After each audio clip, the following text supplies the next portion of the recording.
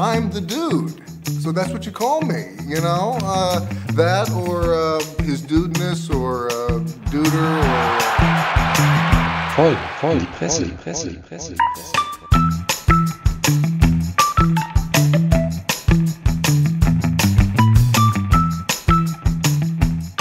Yo, yo, howdy ho, herzlich willkommen zu unserem frisch gezapften Presse- und Medienpodcast mit den vier Podcastern vom Dienst.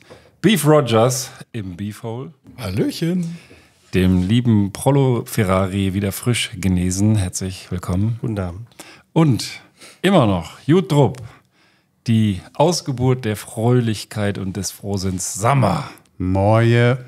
Meine Wenigkeit, Ben Cartwright. Und wir haben gedacht, zum Einstieg in diese nächste Runde trinken wir einfach ein bisschen Bier. Und weil meine lieben Kollegen große, große Flaschen und viele Flaschen mitgebracht haben, greife ich kurz hinter mich und äh, kann mein kleines Mitbringsel aus Wien gerade mal in die Runde schmeißen. Ich habe das letzte Wochenende in Wien verbracht. Wer war schon mal in Wien? Erzählt mal einen Schlag über Wien.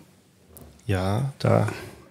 Also über Wien kann ich, kann ich leider überhaupt nichts beitragen. Ähm, da war ich vielleicht mal als Kind, aber schon so lange nicht mehr, dass ich da jetzt nichts mehr zu sagen kann. Aber ich möchte nicht verschweigen unseren Hörern, dass der liebe Ben Cartwright Geburtstag hatte, die Tage. Und das bedeutet natürlich, dass man Geschenke kriegt. Und da muss ich jetzt hier gerade mal eine Kleinigkeit überreichen hier im Podcast. Oh, das habe ich ja. Ich wollte eigentlich euch was äh, hier. Äh, ach, guck, sogar eingepackt. Oh, Mensch, eingepackt. Ein Präsent. Meine eingepackt. Güte, ist richtig schwer. Ist ja unbelievable. Oh Gott, äh, hat der, äh, produziert der Jim Knopf jetzt auch schon äh, Dosen? nee, der Jim Knopf hat damit nichts zu tun. Sag mal, vielen Dank. Rot-weißes, gestreiftes Wie könnte es anders sein? Papier. Toll. Also ich, damit habe ich nun wirklich nicht gerechnet. Und sogar eine Karte. ist das geil? Eine Karte aus meinen dicken Jahren. Drei Kindsnack, also ganz so viel nicht. Aber der Herr Sommer und ich, hervorragend. Ist das geil. Ich lese mal kurz die Karte vor. Hey Ben, alles Gute zum 25. Geburtstag. Oh ja, woher wusstest du das? Bleib locker und lustig und vor allem gesund. Daher auch das Geschenk. Hau rein, vor allem voll in die Presse. Lieber Gruß Sammer. Und das ist ein Kombination, Combination Smoke and Carbon Monoxide. Also Immer ein, wieder in meinem Wohnzimmer grillen. Ja. ein Kohlenmonoxid-Warngerät für den Fall, dass wir mal wieder bei dir im Garten grillen, dachte ich. Dachte ich, ist, ist ein ganz passendes Geschenk. Ich habe es auch extra. Ich habe extra noch dazu, wenn du es aufmachst, dann siehst du es. Ich habe extra noch dazu ähm, Magnetbefestigungen besorgt, damit du das Ding immer überall hin mitnehmen kannst, auch wenn du im Garten grillst und äh, wirklich sicher sein Wo, kannst. woran soll, also das kann man einfach irgendwo dran Ja, festmagnetisieren. du, du, was? So. ja, du machst, äh, das sind so Scheiben. Da mach, die eine klebst du an die Decke fest, die andere klebst du an den, an den Rauchmelder fest. Und dann Riesenteil. machst du es an die, an die Decke. Boah, alter Schwede. Und ähm, du kannst es da natürlich abmachen, ist ja nur, sind ja nur Magnete. Und dann kannst du es wirklich, dann kannst du, können wir auch, wenn wir beim Hank Frank im Garten mal wieder grillen, im Sommer können wir es mitnehmen, zwischen uns legen. Dann, dann seid ihr voll sicher auch der Prollo, weil du und der Prollo, ihr seid ja da. Äh, Ja, ich habe gedacht, der Typ ist gestorben. Wusste ich, Ja, dass er gut. polnischen macht, aber der, der, der, der Prollo, der war so voll. An dem Abend hat der, hat der so eine Scheiße gelabert auch. Das kann ich dann ja, Ja, der war rauchvergiftet Habe ich mich vertreten lassen. hat. Mildernde Umstände. Ja. Also ganz, ganz lieben Dank. Ähm, dafür kann ich nur ein paar kleine Fläschchen ähm, Bier aus Österreich kredenzen. Wir waren nur mit Handgepäck unterwegs, deswegen mussten es die kleinen Flaschen aus der Lounge sein. Äh, Wieselburger Bier, Gold. Vielleicht äh, können wir das als erste Runde. Dann ist noch, das ist, glaube ich, bekannter Gösser Merzen. Ich glaube, Gösser ist hier auch bekannt. 100% österreichische Stoffe, äh, Rohstoffe. Das sind doch mehr als 100 Milliliter. Wie hast du denn das durchgeschmuggelt? Naja, du kannst es ja, wenn du einmal durch die Kontrolle bist. ach deswegen, so. deswegen. Ich In hab's, Duty Free gekauft. ja, so fast, ja. Also Geklaut. nicht geklaut, aber Am Buffet mitgenommen. meine, meine bessere Hälfte hat ja Zugang zu bestimmten Quellen und die hat dann für den Podcast, alles für den Podcast. Completely free gekauft. Also dafür, dass sie Quellen hat, ist es wiederum relativ spärlich. Ja, die ist, muss ja da hingehen und das auch noch schleppen. Ja, Also, oder die haben doch einen bestimmten Kasten, oder? ja, So, gut, aber aber ich wusste ja nicht, dass ich hier so reich beschenkt werde, deswegen steht der Oh, Kasten noch das zu riecht Hause. gut. Das riecht gut. Also, er? sag mal, das ist äh, wirklich, das rührt mich fast zu Tränen. Das Ding ist geil, das packen wir mal auf die Shownotes und das ist sehr, sehr äh, groß.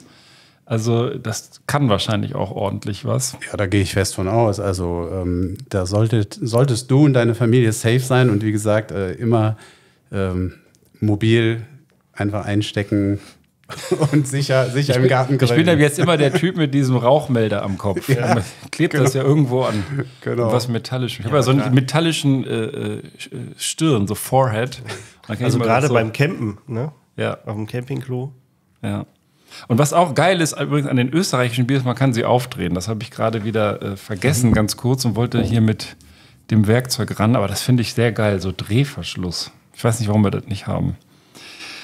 Ja, ähm, vielleicht so ein bisschen, äh, um aufs Thema zu kommen.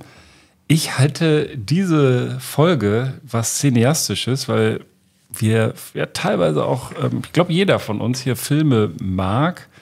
Wir müssen mal schauen, vielleicht können wir auch noch unseren Filmexperten dazuschalten, wenn er, wenn er nicht gerade wieder weg, einen wegschnupft. Aber ähm, bitte nicht verraten, Beef, weil ich fürchte, du weißt es sofort. Ich habe ein paar Zitate, ein paar Originalquotes mitgebracht aus einem Film, den ich sehr verehre, der dieser Tage 25 Jahre alt geworden ist. Und das zeigt mir, dass ich den Film ja schon bei meiner Geburt geguckt haben muss. das ist ja Wahnsinn. Der ist total hängen geblieben. Also ich liebe das, das Teil. Und ihr werdet gleich ein paar Zitate hören, aber vorher vielleicht mal so in die Runde. Die Jungs tipseln hier ganz eifrig. Womit wollt ihr denn unsere Zuhörenden begeistern? Ich habe auch was Cineastisches dabei. Französische Sexfilme. Ist aber anders, als es sich anhört. Okay. Na, ich habe ähm, nur äh, einen potenziellen Weltuntergang und ähm, hätte noch eventuell zu bieten dann auch äh, gottgegebenes Recht. Gottgegebenes Recht. Kein Sexthema diesmal, keine Nee. Kastration, Nee, keine äh, rammelnden Marder. Nee. Was dachte, übrigens sehr was- geil war. Hier, sag mal, du hast das auch irgendwie tags später oder kurz später irgendwo rumgeschickt, dass das irgendeine eine Quizfrage war, ne? Mit dem, Ja, ja. wie hieß der Beutelmarder? Der Beutelmarder, ja. Ja. Der, der ist äh, echt hängen geblieben bei uns und hoffentlich auch bei den Hörern oder Zuhörenden. Ähm, ja, ich werde ich werd was berichten von einem Mann, der 102 Kinder hat und werde mit euch diskutieren, was Der das... Beutelmarder unter den Männern. Genau, genau. Na, nee, der- das, ja, eigentlich nicht. ne? eigentlich nicht, Eigentlich eigentlich, nicht, ne? Passt ja, gerade dann Ich habe nicht. mehr so in diese Rammel. ja, Aber- vielleicht eine Saison. Ja, eine Sekunde, Saison 102, Kinder, nicht schlecht. Blaue Pille Nein, ich, ich möchte mit euch dann äh, besprechen, was, äh, was dieser Mann mit 102 Kindern mit der sogenannten demografischen Dividende zu tun hat. Der demografischen Dividende. Okay. Äh, Beef, die Spülmaschine ist fertig. Ja, ich mach ja. Ich mach sie leer. Oh, da, da kam Antwort von Hank Frank Schröder live in die Sendung. Mal schauen, was er so hat, aber jo. Ah, ah, Grüße in die Pimmelrunde, schreibt er. Er ist auf irgendeiner Baustelle, hat kein WLAN und kann leider nicht äh, mitmachen, aber gerne dann demnächst Podcast aus dem Schrader Basement. Da ist wirklich ein 70er Jahre Partykeller mit Bar drin. Ein Traum. Alter, er macht uns immer so wuschig. Letztes Mal mit dem Garten, jetzt mit seinem Partykeller. Und dann Grüße an die Pimmelrunde beziehungsweise Beutelmarder-Anbeter. Also das ist auch bei ihm hängen geblieben. Schönen Gruß zurück. Also so, ich glaube, so wurden wir noch nicht bezeichnet, oder? Wir sind die Beutelmarder So- so- so oder was auch Ich immer. auf jeden Fall so eine Herrenhandtasche aus Beutelmarderpelz bestellen. Oder, oder Hoden. Hodenhaut. Beutelmarderhoden, genau. Badekappe oder was? Mütze, Glatze, Mütze, Glatze. Okay, ja, wir sind das äh, niveaumäßig wieder genau richtig einge, äh, eingegangen. Kann eigentlich nichts mehr schiefgehen. Ich weiß nicht. Also ich, ich, hab, ich bin richtig wuschig. Äh, habt ihr Bock, erst so ein bisschen äh, cineastischen Einstieg zu machen? Ähm, ich hätte da so ein bisschen was vorbereitet. Habe mir heute den Film extra nochmal angeguckt, die besten Szenen mitgeschrieben, dann original eingesprochen und äh, könnte sie euch jetzt sozusagen in einer äh, live eingesprochenen Variante mal zeigen. Ich versuche es als Quiz und dann ist es wahrscheinlich relativ schnell klar. Aber das, dieser Film hat so viele geile Quotes hervorgebracht. Aber ich mache trotzdem, ich habe nur sechs Stück, ja. Aber ich mache trotzdem mal einen zum Einstieg, wo man noch nicht sofort weiß, wenn man den Film nicht kennt, um welchen Film es geht. Und das ist dieser hier. Let me tell you something, Pandeo. You pull any of your crazy shit with us, you flash a piece out on the lanes, I'll take it away from you and stick it up your ass and pull the fucking trigger till it goes click. Jesus. You said it, man. Nobody fucks with the Jesus. Hmm. Hmm. Hmm. Aber ich weiß ja, dass du ein riesen Pulp Fiction-Fan bist, aber das ist ja wahrscheinlich Nee, äh, schon nee. älter. Pulp Fiction dürfte ungefähr dieselbe Liga sein, sogar noch ein paar Tage älter vermutlich. Aber Ja, ja. Nobody fucks with the Jesus. Ja, ich überlege gerade. Wie heißt dieser englische Ko- Komödiant? ja, sonst hauen uns noch eins um die Ohren. Ja, ähm, okay. Dann gibt es noch ein, eine Szene, die gefällt euch mit Sicherheit sehr gut und die geht auch so ein bisschen in die Richtung französische Sexfilme vom Rollo. I'll suck your cock for a thousand dollars. Wonderful woman. We're all we're all very fond of her, very free spirited. Brand can't watch though, or he has to pay a hundred. That's marvelous. Uh, I'm just gonna go find a cash machine. Also ich glaube, wenn äh, die beiden Szenen, wenn ich den Film gesehen hätte, würde ich mich da an sowas erinnern. Okay, die Dame, die das gesagt hat, hieß Bunny. Und die steht auch im Mittelpunkt von Oh, dem Bunny. Film. Ja, die diese Bunny. Das, das kenne ich doch. Ja, pass auf. Und dann äh, gebe ich euch. Nee, Honey Bunny ist auch wieder Pulp Fiction. Aber spät. Ich mache noch einen. Ich mache noch einen. Da flippt jemand aus. Das ist auch ein äh, beliebter Protagonist. Mark that frame and eight, you're entering a world of pain. I'm not. A world of pain. Look, dude, I, this is your partner. Is the whole world gone crazy? Am I the only one around here who gives a shit about the rules? Mark it zero! They're calling the cops, man. Put the piece away. Mark it zero! Walter, put the piece away. Walter? You think I'm fucking around here? Mark it zero! Immer noch nicht. Also es ist ein Streit beim Bowling. Der Walter. Der Walter, genau. Walter, das ist doch das. 25 Jahre ist ja schon alt. Ja. Pass auf, ich gebe euch die Szene, wo es jeder erkennt. Where's the money, Lebowski? Big Lebowski. Where's the money, Lebowski? Okay. The fucking money, shithead! It's, uh, oh, oh, it's down there somewhere. Let me take another look. Das ist die Kloszene, ne? Das ist die Kloszene, damit geht alles los. Der Dude hat sich gerade einen White Russian gemixt und äh, kommt nach Hause oder will sich einen mixen und wird überfallen von, wie er sagt, von einem Chinaman, der auf seinen, auf seinen Teppich pinkelt und dann äh, der andere Typ, der ertränkt ihn die ganze Zeit da in der Kloschüssel. Das haben wir gerade gehört. Es geht um Geld, was weg ist, was angeblich die Bunny äh, äh, jemandem schulden soll. Und es ist eine Verwechslung, denn das Geld, Bunny ist die Frau von dem Big Lebowski, aber er ist ja gar nicht der Lebowski, sondern I'm the dude. Yeah. So that's what you call me, you know? Uh, that or uh, his dudeness or uh, duder or, uh, you know, El Duderino if you're not into the whole brevity thing.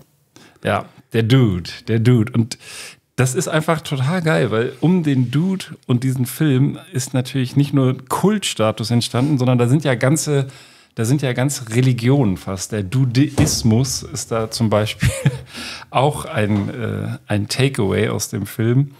Und äh, da geht es letzten Endes darum, dass man einfach das Leben locker sieht, dass man nicht alles so seriös nimmt. Ich habe hier auch einen Artikel, den will ich jetzt euch mal ersparen. Die zehn Gebote des Dudeismus und so, das verlinken wir einfach.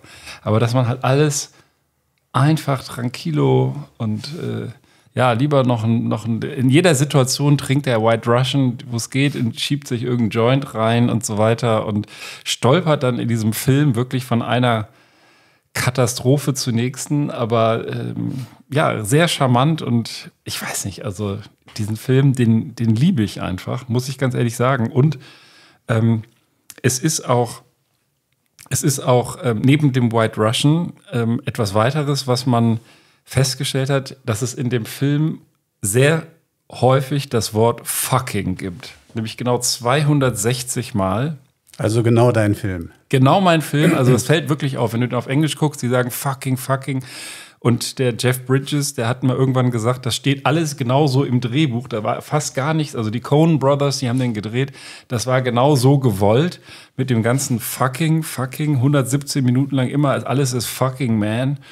Ähm, es gibt noch einen anderen Film, The Wolf of Wall Street, da kommen 506 Mal Fuckings drin vor. Also das ist noch bei weitem nicht der Rekord. Aber die 260 Mal, die sind auch deswegen äh, witzig zu wissen, weil es gibt ja auch einen, äh, einen sehr geilen Erzähler-Beef, ne? Den Sam Elliott, der spielt so einen Cowboy, der da immer so in, in so einem äh, schönen Dialekt dann hin und wieder mal in diesem Film auftaucht und halt die Geschichte vom Dude in Los Angeles erzählt.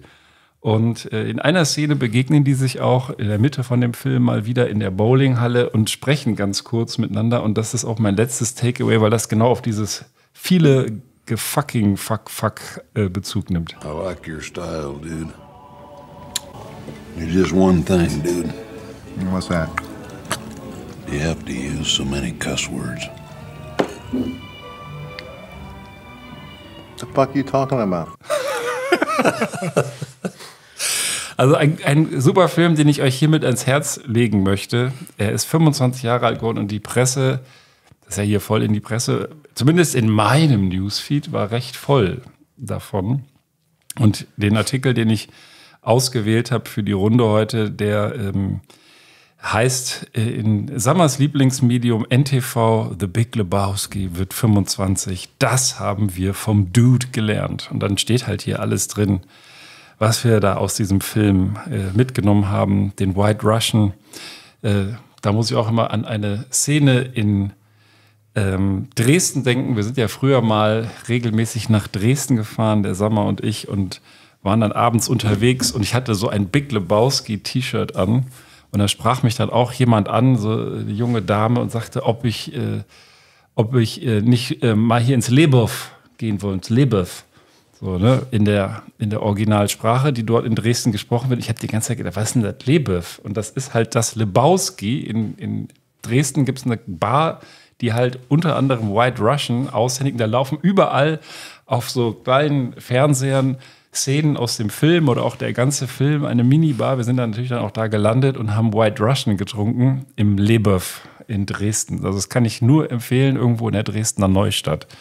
Und ich glaube, es gibt noch ganz viele weitere White Russian und Lebowski Bars. Also das ist mein, meine ultimative Lobhudelei auf den Film.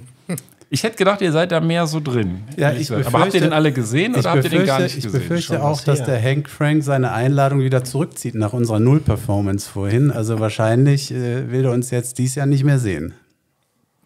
Ja, gut, es wäre dem egal, weil der hätte genug zu erzählen darüber. Vielleicht äh, nehmen wir das einfach nochmal auf und ähm, sprechen bei nächster Gelegenheit im Partykeller mit ihm da. Aber ich, äh, ich oute mich als jemand, der ihn noch nicht gesehen hat, aber ich oh. werde ihn nach diesem äh, Vortrag, den wir hier hatten, äh, werde ich ihn auf jeden Fall mehr reinziehen.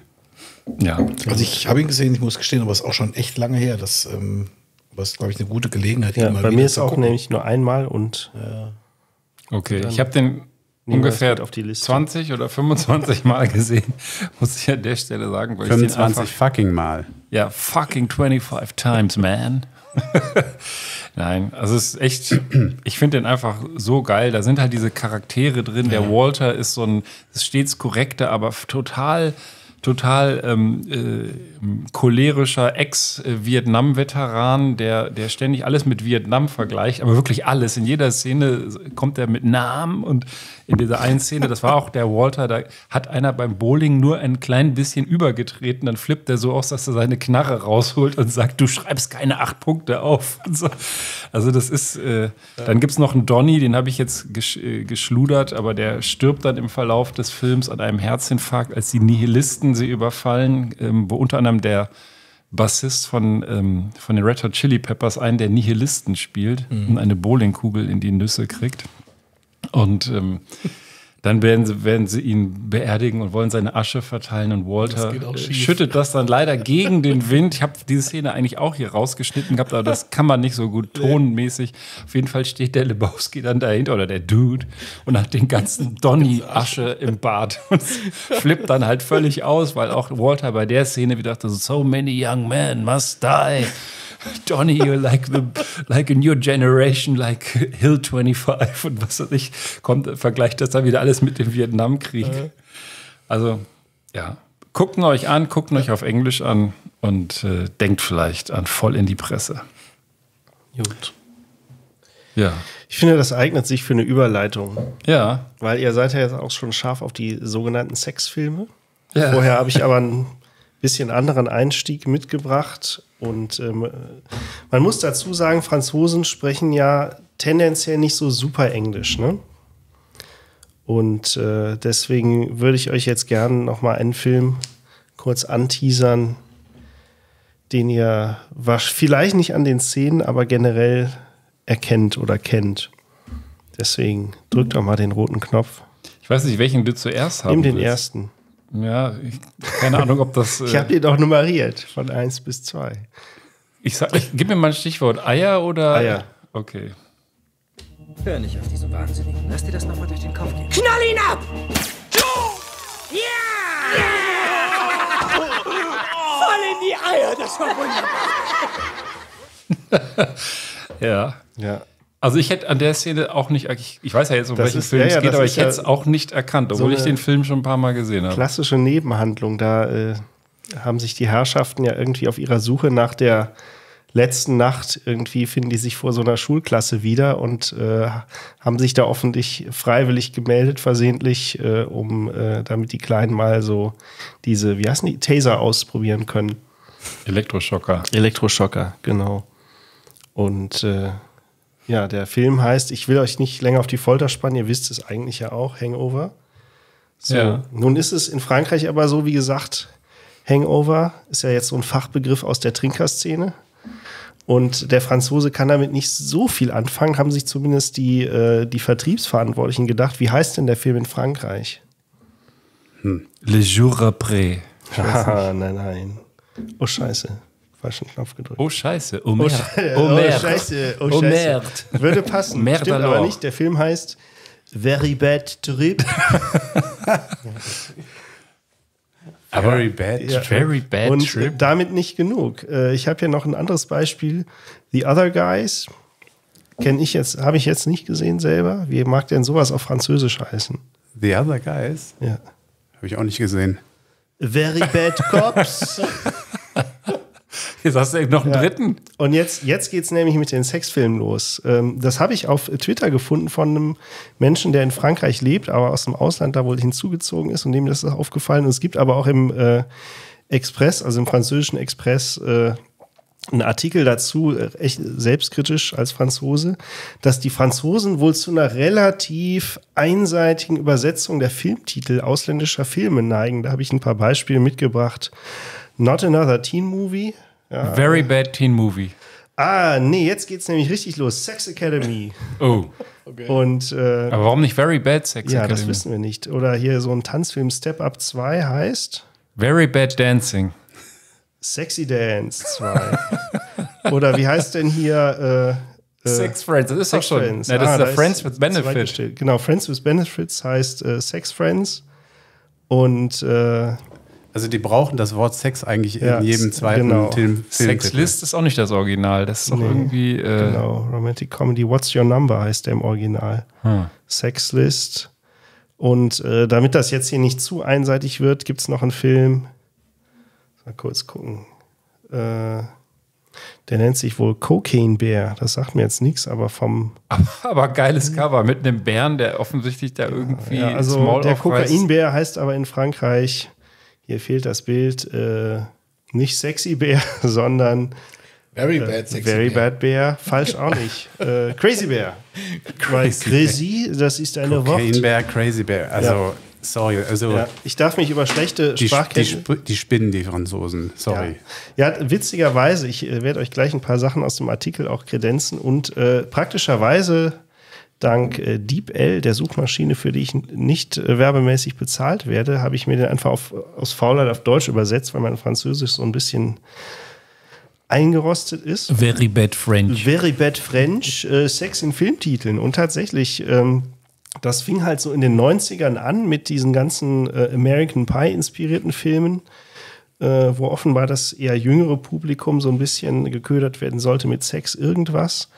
Und das ging aber dann in den 90ern und 2000ern äh, ja so ein bisschen äh, weiter. Also hier Sex Friends, äh, Sex mit äh, Freundin, Friends with Benefits und Sexlist haben wir eben gesehen. Und äh, witzigerweise ist, ist diese Übersetzungs, äh, ich, ich ne, sag's mal, Masche auch so ein bisschen mitgealtert. Ja? Also neben nach der Teenie-Filmphase von damals äh, waren es dann eher so diese äh, Filme von über irgendwelche 30-Jährigen, ja, die, äh, die irgendwie, weiß ich nicht, äh, dann auch ein bisschen älter geworden waren und äh, ja, tendenziell betrifft das ganze Thema Filme, die, äh, ich sag mal, ich zitiere mal hier den Artikel, die äh, der, von der Kategorie her eher dazu bestimmt sind, Einspielergebnisse als Meisterwerke zu erzielen. Was, Ja, was also- ich mich frage, ist, warum nehmen die denn keine französischen Titel? Dafür waren auch die Ja. Franzosen eigentlich auch immer zu Irgendwie haben. schon, ne? aber Also dann könnten sie auch das Original Englisch lassen. Naja, gut, Sex, ist, Sex ist, ist ja dann Sex. universell. Ja, das stimmt, aber das ist irgendwie ja schon sehr platt gemacht da, ne? Also Friends with Benefit ist ja. natürlich schon ein, äh, ein angloamerikanisches äh, Wort, was man nicht äh, vielleicht so direkt übersetzen kann. Freunde mit Vorteilen oder Freunde mit, ja. Aber man kennt es einfach. Also, dass man kennt es aus der englischen Sprache. Vielleicht wollten sie das dann einfach äh, runterbrechen auf sozusagen. Tja, also irgendwem ist es irgendwann mal aufgefallen und äh, im Express stand's. Wie gesagt, ich habe es auf Twitter gefunden von jemand, der dann äh, äh, sich dann hat hier noch von seinen Followern inspirieren lassen, was es sonst nur an so bescheuerten Filmtiteln gibt. Und äh, jemand Sex schlug Frank. dann auch vor, statt Titanic, Titanic heißt natürlich auf Französisch Very Bad Boat.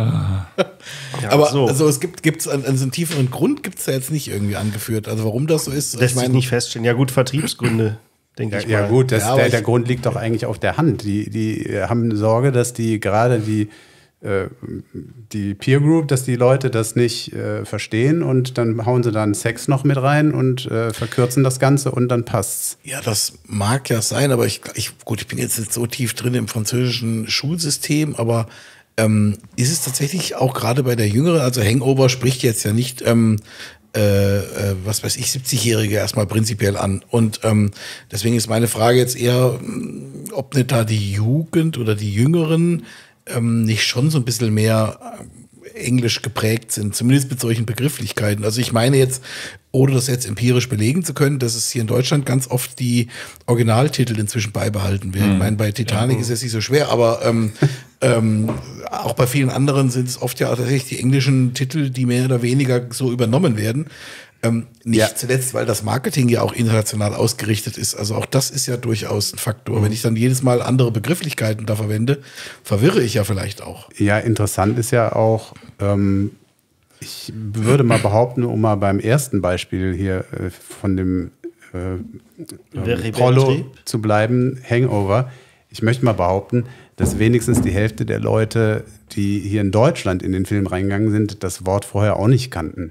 Und trotzdem ähm, hat man es beibehalten. Also ähm, vielleicht, weiß ich nicht, traut man den Franzosen da nicht über den Weg, äh, anderen Nationen schon. Ich könnte mir, ich weiß es jetzt was es ist, aber ähm, also es ist ja in Frankreich so, dass die, dass die eine stärkere Verpflichtung haben, ähm, dass die französischen Produktionen sowohl, also in der gesamten Kunst, also sowohl Musik, aber auch in, ähm, im Kino, dass die einen deutlich höheren Anteil einfordern. Das heißt, ähm, ein Großteil der Filme und wirklich ein großer Teil der Filme muss tatsächlich französisch sein oder zumindest eine Musik französische. Radio. Oder Musik im Radio Ja. genauso. Und ähm, ich weiß nicht, ob das jetzt hier so ein bisschen dadurch noch äh, abgegrenzt werden soll. Das weiß ich jetzt ehrlich gesagt nicht. Ich meine, die Franzosen haben auch im Gegensatz zu vielen anderen europäischen Staaten eine sehr gut funktionierende Filmindustrie.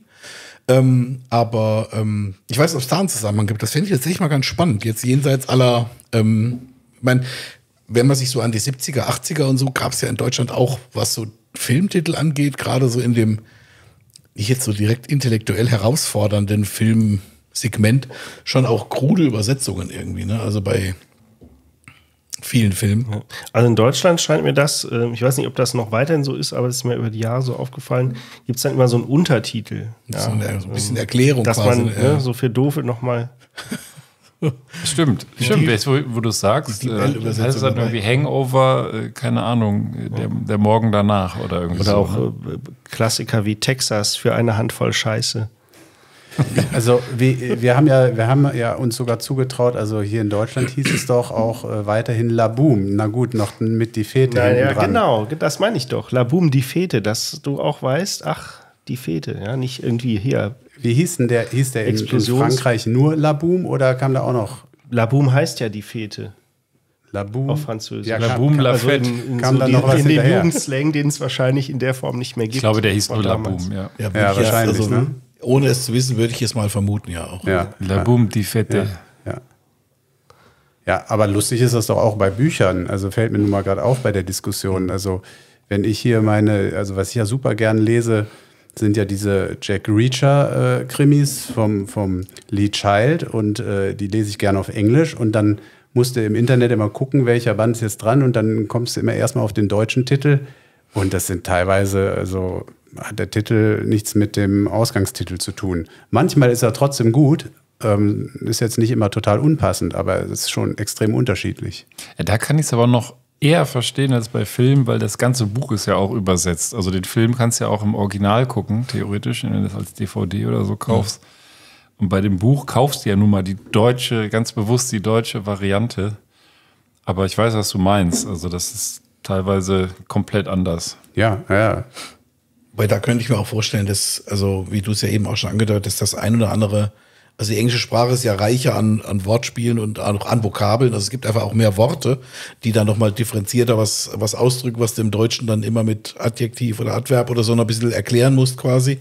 Ähm, und ähm, da könnte ich mir schon vorstellen, dass manches schlicht und ergreifend auch nicht einfach so eins zu eins zu übersetzen ist, ohne dass es einen Sinnverlust hat. Und entweder wird dann wirklich ein ganz anderer Punkt betont aus dem Buch, dem Film, dem irgendwas.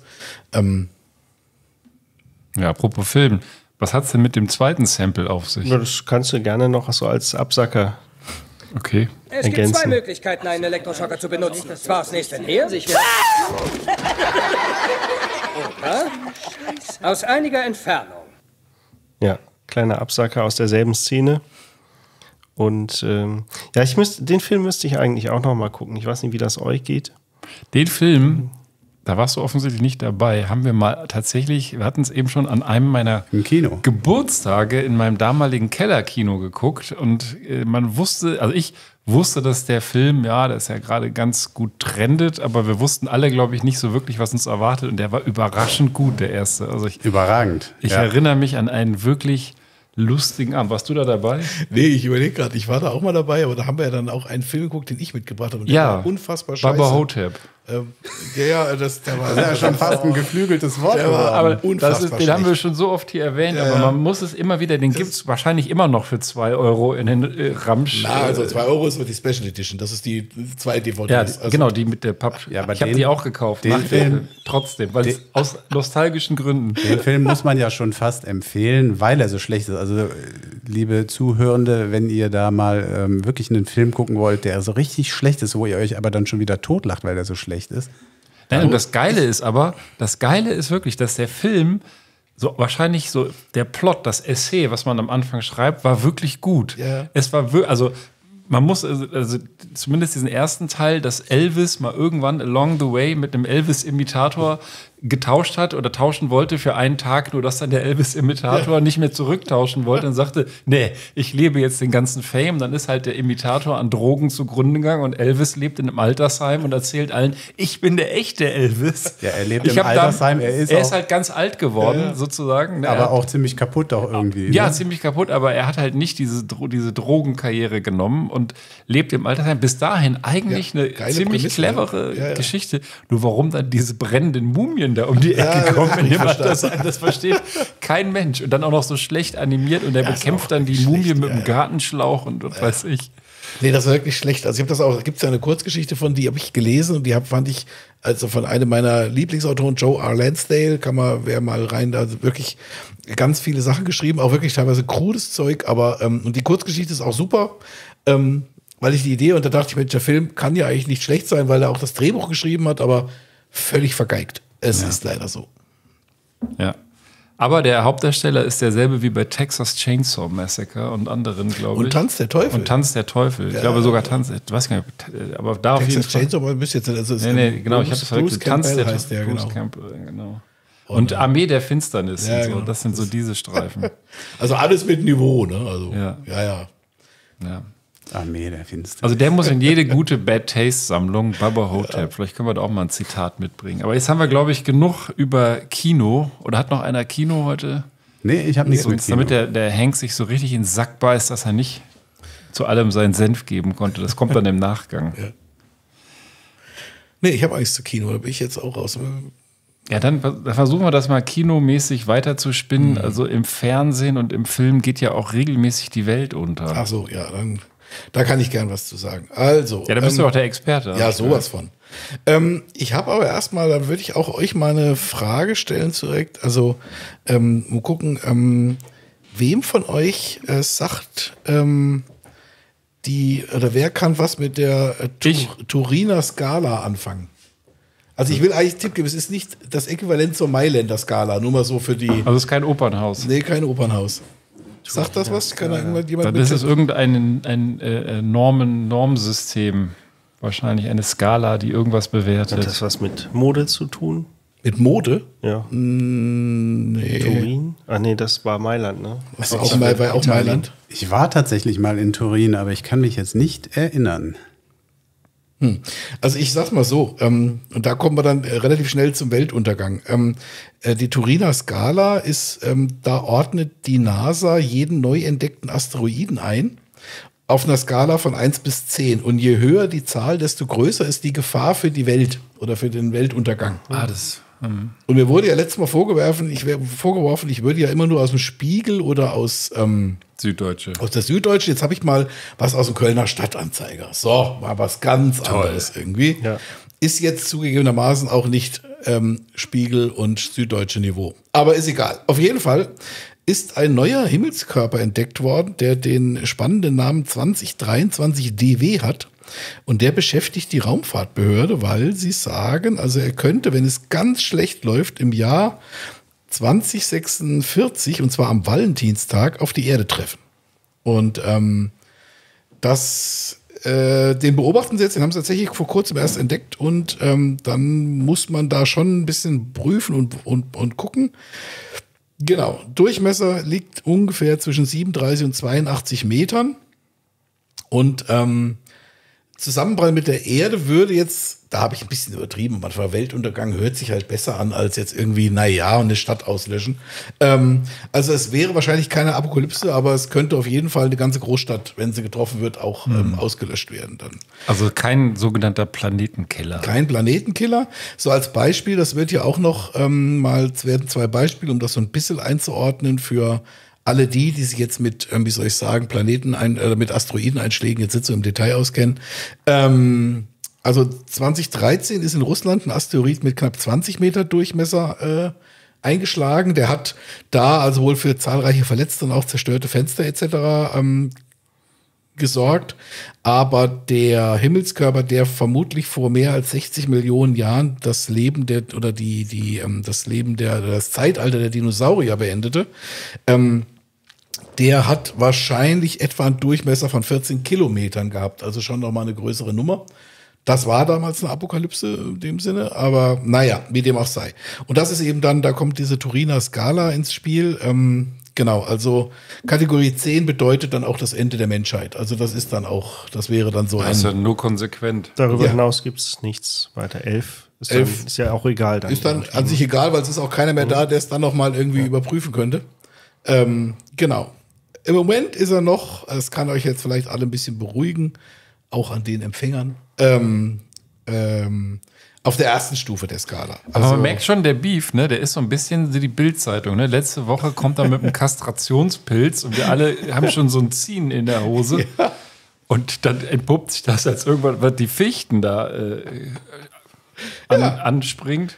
Aber Und jetzt, der heute die Fichte, morgen der Mensch. Also das geht ratzfatz. Der, der Beef weiß, wie es geht. Das ist also Marketing. ich gehe nie wieder mit offener Hose durch den Wald. Das ist schon mal klar. So ein bisschen durch den Fichtenwald. Aber- ne? Und auch beim Weihnachtsbaum Vorsicht. Also. Aber, aber jetzt, jetzt, jetzt passen wir auf, Beef. Die, die entscheidende Frage ist ja jetzt noch gar nicht besprochen worden. Ist denn, äh, gibt es irgendwelche Planungen, Vorbereitungen? Sie haben ja schon geübt, so einen Asteroiden ähm, aus der Bahn zu bringen, indem sie irgendwie einen Mhm. Kühlschrank großen Gegenstand gegen so ein Ding mal geschossen haben vor kurzem. Ja.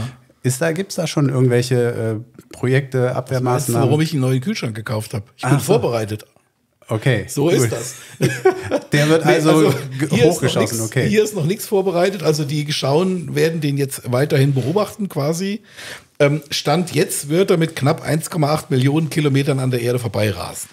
Aber Okay. die Berechnungen können noch falsch sein, weil sie ihn gerade erst entdeckt haben. Das sagen sie, das, das müssen sie jetzt auf längere Zeitraum berechnen, um diese Flugbahn ähm, genauer vorausberechnen zu können. Da hängen wohl ganz viele Faktoren ab, also von auch Anziehungskräfte etc. Die sind wohl, ist jetzt nicht einfach nur Dreisatz ähm, vom, vom Rechenansatz. Okay, und her. 1,8 Millionen Kilometer ist offensichtlich nicht so weit, dass man da sich, in, sich auf, auf der sicheren Seite fühlen Nee, könnte. zumal, und da wäre ich jetzt doch wieder, könnte ich eine elegante Überleitung zu Film machen. Ich hatte am Wochenende, hatte ich zwischendurch mal äh, zwei Stunden Zeit und war ähm, auch darauf aus, etwas Niveauloses zu gucken. Also, wo was vermeintlich Niveauloses, das war es am Ende gar nicht. Dann habe ich mir einen Film angeguckt über einen der bekannten Streaming-Kanäle. Don't look up. Nee, der hieß äh, Love and Monsters. Und Ah. ähm, dachte ich, hört sich so schlecht an, kann auch nur schlecht sein, war tatsächlich aber ganz gut. Die Grundstory und die, den Weltuntergang handeln sie da irgendwie in den ersten fünf Minuten ab. Da kommen nämlich auch Asteroiden auf die Erde zu und die werden dann gesprengt mit allem, was sie haben quasi. Ähm, das klappt auch. Ähm, dann aber kommen durch die verstrahlten Teile, die dann auch auf die Erde runterregnen, ähm, entwickeln sich ganz viele Monster auf der Erde aus Heißt der irgendwelchen Love Insekten and, heißt der nicht Aliens and Monsters?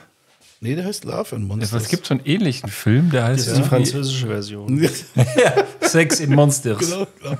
Nee, das ist tatsächlich, also die Story ist tatsächlich, dass die Menschheit dann quasi zu 95 Prozent vernichtet wird. Wie gesagt, das sind wir immer noch im, im Vorspann. Sorry, äh, nur dass ich mich direkt revidiere. Der hieß, glaube ich, Aliens and Cowboys. Den Film Genau, gibt's. den gab es mit Harrison Sorry. Ford. Ja, den habe ich auch mal Ja. gesehen. Der, aber, nee, Ist der ja hier war Cowboys mit, Aliens? Ja, aber um jetzt hier auch memory. zu sein, das erinnert mich jetzt auch an die Fukushima-Schweine, die der Prolo Ferrari hier mal vorgestellt hat. Das waren doch auch irgendwelche äh, verstrahlten Viecher, die dann äh, so agromäßig Ja, unterwegs die waren. dann unangenehm wurden. Ja. Und hier ist es tatsächlich so, das würde ich, da, da kommt das Love aus dem Titel noch irgendwie. Also die Menschheit wird zu 95 Prozent vernichtet und die restlichen Überlebenden ziehen sich in mehr oder weniger irgendwelche unterirdischen Bunker zurück und versuchen da einigermaßen durchzukommen. Und er, der Hauptdarsteller, um den es jetzt geht, ist ein Jugendlicher. In seinem Bunker sind halt nur Pärchen und alle knattern die ganze Zeit und er ist gekniffen, er darf nur kochen. Und ähm, und seine Liebe, die er kurz, seine Liebe seines Lebens, die er kurz vor dem Weltuntergang kennengelernt hat, die findet er dann über Funkgerät quasi in einem Bunker sieben Tagesreisen zu Fuß entfernt. Und er ist ein ziemlicher, in Anführungsstrichen, Feigling, beziehungsweise er erstarrt, wenn Gefahr droht und bei irgendeinem Monster dann halt auch. Und dann dringt natürlich auch ein Monster in diesen unterirdischen Dings ein, er muss gerettet werden und bla und blub. Und dann macht er sich auf die Suche, um zu seiner Frau, Freundin zu kommen, ähm, die sich auch auf ihn freut. Also die funken ja auch miteinander und alles und ist gut. Und er besteht dann quasi eine ganze Reihe von, von, also er begegnet natürlich verschiedenen Monstern, die er dann auch mehr oder weniger erfolgreich ähm, abmurkst und ähm, Mehr will ich jetzt nicht verraten, aber er reift. Das ist quasi so, so eine Coming-of-Age-Geschichte, aber ziemlich gut gemacht und ziemlich witzig auch. Also hat sie es und auch gut getrickst. Also ist jetzt auch nicht irgendwie nur so ein Billigfilm. Wenn ihr mal Zeit und Lust habt, schaut mal Love rein. and Monsters. Love and Monsters. Ich dachte, Mensch, wir hauen ja hier die Filmtipps sowas raus von, wie. bin ich jetzt aber selber erst gerade drauf gekommen, war überhaupt nicht vorbereitet. Ich bin völlig erschüttert. Ja, aber du bist halt ein Top-Typ. Du selbst unterbewusst bereitest du dich schon auf die Stories vor, die du hier so Genau. kredenzt. Und ähm, ich habe aber nicht unterbewusst, ähm, sondern bewusst ein Bierchen mitgebracht. Das würde ich jetzt mal einschenken, wenn das okay ist. Das andere aus das Österreich haben wir ja. Das ist aber auch Zwickel. Das ist ähm, aus dem Fränkischen. Fränkisch. Aktienzwickel, Kellerbier Aber das ist doch irgendwas mit Bayreuth. Flensburger. Ist das nicht Flensburger Brauerei oder was? Nö. Das sieht so aus, guck mal, aber jetzt mal ehrlich, das sieht doch ein bisschen aus. Ich bin hier Ja. fünf Meter entfernt, aber es Es sieht so ein ist bisschen aus aber wie es ist das. die Bayreuther. Also Bayreuth und Flensburg liegen näher zusammen, als man denkt. Ja, aber müssen wir mal beim Foto festhalten. Ja. Also ich finde, das hat verblüffende Ähnlichkeit aus So, ich der Ferne. mal poppen. Wow. Mitten ins Gesicht. Ich dachte es schon. Danke, danke. Ah, Das perlt ja hervorragend. Mensch, Beef, ich weiß jetzt überhaupt. Ich nicht, wie ich jetzt nach all diesen cineastischen Geschichten hier die Überleitung zu meinem Beitrag hinkriege. Also das ist jetzt wirklich der, der totale Break. Ähm, vielleicht könnte man höchstens das Stichwort vom Beef aufgreifen, irgendwie Apokalypse und die Frage, bevor ich hier den Einstieg wähle, stellen, ob wir uns nicht eines Tages ohnehin äh, selbst dadurch überleben, dass ähm, die Weltbevölkerung irgendwann ja, zu groß ist, als dass dieser Planet uns sozusagen tragen könnte. Aber ich fange mal an mit dem Beitrag, den ich mitgebracht habe, von einem Mann aus Uganda, der von zwölf Frauen 102 Kinder hat. Ähm, das ist in Uganda erlaubt, also Polygamie ist dort kein Problem und 102 Kinder und 567 Enkelkinder. Das, ganz kurz, ich- das ist jetzt aber kein ugandischer Prinz, von dem ich per E-Mail darauf aufgefordert werde, irgendwas erben zu können. Das war Samunda. Das war Samunda. Nein, das ist, das ist kein Prinz, das ist Musa Hasaya. Ich weiß nicht, habe ich jetzt wahrscheinlich falsch ausgesprochen, aber er gilt äh, in, seiner, äh, in seinem Bezirk als der polygamste Mann sozusagen im Ort, hat 567 Enkelkinder auch. Ähm, und jetzt hat er ein Problem. Denn er hat zwar eine Farm, die immer in die Größe von 56 Fußballfeldern hat, aber trotzdem wird äh, ihm jetzt der Platz zu eng. Denn wenn man so will, wohnen die da, ich habe jetzt hier keine Bilder dabei, ähm, unter einem Dach, so wird es hier jedenfalls formuliert. Und da kann man sich schon vorstellen, dass ähm, der Raum da etwas eng wird.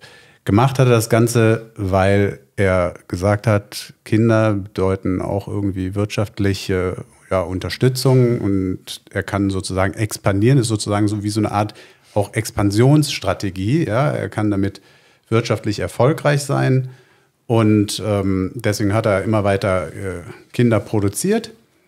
Und jetzt hat er aber eben das Problem, ähm, und seine Kinder können auch nicht zur Schule gehen. Das ist ihm auch irgendwie aufgefallen, dass das irgendwie nicht so pralle ist. Ähm, die arbeiten nämlich alle mit. Er, hat, äh, er, sagt hier an einer Stelle in dem Artikel, dass er ähm, dafür gesorgt hat, dass äh, jedes Kind äh, eine Hacke kriegt und jeder, jedes Familienmitglied überhaupt eine Hacke kriegt und dann auf den Feldern mitarbeiten kann. So. Ähm, Jetzt hat er aber, kommt er sozusagen an die Grenzen und das Ganze haut nicht mehr hin, das ganze Konzept. Und äh, er ruft jetzt sozusagen um Hilfe und bittet irgendwie darum, irgendwie noch weitere Unterkünfte zu kriegen ähm, und rät an andere äh, in Uganda, vielleicht auch in der Welt insgesamt, sein Rat ist, nicht mehr als vier Frauen zu heiraten. Also kann man, kann man äh, mal ernst nehmen, diesen, diesen Rat. Aber ich wollte das Ganze jetzt hier zum Anlass nehmen, diese Geschichte, ähm, mal bei euch nachzufragen. Es gibt ja das ähm, weit verbreitete, sage ich mal, Klischee. In Afrika werden zu viele Kinder gemacht. Was hat der Tönnies noch gesagt dazu? Der, der Wurstfabrikant, äh, wenn dort das Licht ausfällt, dann äh, werden da gleich wieder neue Babys gezeugt. Ähm, und ja, die, die Sache kann nur schief gehen, weil die Bevölkerung sich dort innerhalb nächsten, weiß nicht wie viele Jahren dann auch noch verdoppeln wird und so weiter und so fort. Wie, wie steht ihr jetzt, ohne dass ich jetzt, ich komme gleich noch auf ein paar Punkte, ohne dass ich jetzt äh, die schon vorweggeben will. Wie, wie steht ihr zu diesem Thema, sei es jetzt hier der Mann mit den 102 Kindern oder das daraus, sage ich mal, abgeleitete Problem, Problem in Anführungsstrichen, ist die Frage, ist es ein Problem der wachsenden Bevölkerung in Afrika, vielleicht nicht nur in Afrika, vielleicht generell, aber Ich jetzt glaube, sind wir hier in ich Afrika. glaube, äh, ich hab, kann das jetzt nicht wissenschaftlich belegen, aber meine Vermutung wäre, dass es dieses vermeintliche Demografieproblem in Afrika gar nicht gibt, weil zu der Wahrheit gehört ja auch, dass sie im Durchschnitt sehr viel kürzere Lebenserwartung haben, ähm, soweit ich das weiß. Ähm, da ist die, die, der, die Lebenserwartung auf jeden Fall deutlich geringer als in, äh, in anderen, was weiß ich, in Europa. Ähm, und vielleicht, äh, vielleicht ist das auch gar nicht so, dass, dass das äh, da irgendwie alles aus den Fugen gerät. Ich habe irgend so ein, das gab doch jetzt irgend so eine Prognose vor ein paar Monaten mit der Weltbevölkerung, dass wir noch irgendwie so auf 12, 13 Milliarden anwachsen werden und dass es dann aber irgendwie rückläufig sogar werden wird. Es gab hab ich irgendwas. Ich habe sogar nur 10 in Erinnerung. Ja, oder- Aber auf jeden Ja. Fall der Punkt ist ja, es also es wird, es wird äh, natürlich in Afrika wird die Bevölkerung äh, noch steigen, aber auch äh, Indien, China und so weiter, da haben wir ja auch vielleicht nicht so viele Kinder pro Kopf, aber ähm, einfach sehr viel Potenzial. Und ähm, ich, wie gesagt, ich weiß gar nicht, ob das so, äh, so der Fall ist, dass das da aus allen Nähten platzt. Und letzten Endes, wie viele Kinder jemand hat, ist mir, mir auch egal. Also ähm, ich stelle mir das sau anstrengend vor, zwölf Frauen bei Laune zu halten. Man hat schon mit einer oft äh, ziemlich alle Hände voll zu tun. Damit meine ich jetzt nicht Sex, sondern einfach so, aber vielleicht, keine Ahnung. Und dann 102 Kinder äh, mag ich auch nicht unbedingt tauschen. Aber ähm, Mir fällt übrigens bei der Gelegenheit auf, dass du mit deinen vier Kindern ziemlich nah am, äh, an der, am Durchschnitt in Uganda bist. Da sind, werden äh, viereinhalb Kinder. Ähm, zum Glück pro- sagst du, sagst du mit deinen vier Kindern und nicht mit deinen vier Frauen. Nein, nein, pro, Frau, ich, pro Frau auch, ja. Also, Ja, ich habe nur eine. Zum Glück. ja, ja. Aber ja. Ich würde so den gepflegten Herrenwitz versuchen, ein bisschen zu umschiffen. Ähm, und ähm, ja, ich bin tatsächlich eher, was mich eher so ein bisschen erschüttert an dem Bericht. Also, ähm, also ich finde zum Beispiel, in China ist das ganze Thema ja vor Jahren und Jahrzehnten versucht worden mit dieser staatlich verordneten Ein-Kind-Politik, also dass quasi jede, jedes Paar nur ein Kind haben darf, um eben eine, ein dauerndes Wachstum der Bevölkerung zu verhindern, beziehungsweise um das auch wieder rückläufig zu gestalten was erstens gescheitert ist und ich B auch einfach einen unfassbaren Eingriff in die privaten Entscheidungen von Menschen halt äh, finde, davon mal abgesehen. Ähm, was mich hier bei dem ganzen Artikel am mehr beschäftigt und was ich tatsächlich auch schwieriger finde, ist einfach die Tatsache, dass er halt auch sagte, dass seine Kinder, diese 102 Kinder oder die ganzen Enkel und wie die alle sind, da irgendwie auch keine Schulbildung, nichts haben, sondern schlicht und ergreifend nur irgendwas, ein Gerät, Gartengerät oder ein, irgendwas in die Hand gedrückt kriegen und dann da mitarbeiten müssen von ihrem, keine Ahnung, sechsten, siebten, zehnten Lebensjahr an.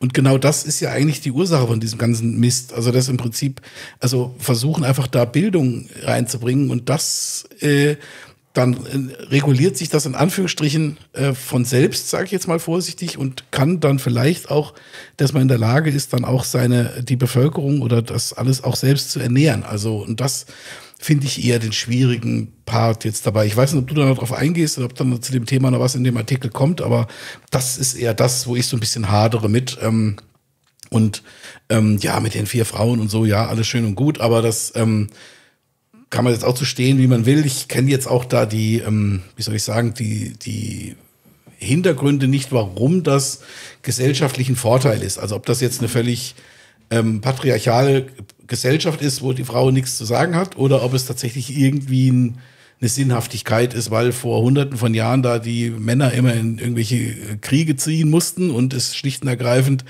nicht genug Männer für die ganzen Frauen gab und so weiter und so fort. Ich weiß es nicht. Ähm, das kann ja auch sein. Aber ähm, Ja, dieses Argument mit äh, 102 Kindern auf dem Acker, finde ich, ist, das trägt wirklich nicht da. Vielleicht dann lieber fünf Kinder und einen Traktor oder so, ja.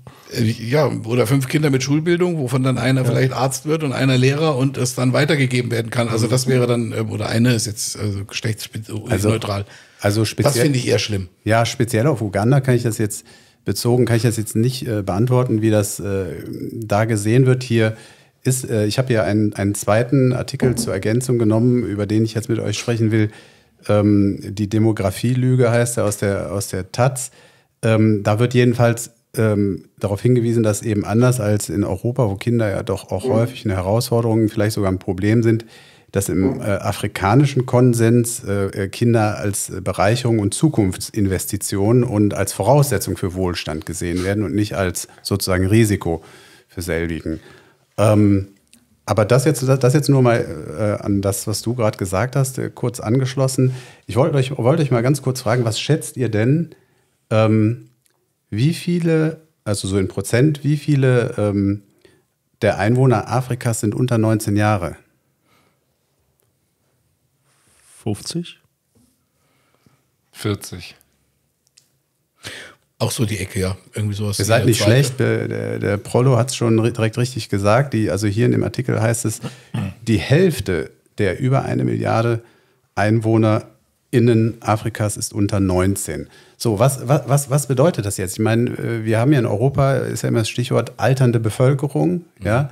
Äh, Das heißt, die Jungen, die paar Jungen, die es noch gibt, die müssen die ziemlich vielen Alten irgendwie finanzieren. Und das ist ein ziemliches Problem, das äh, kriegen wir jetzt ja schon mit.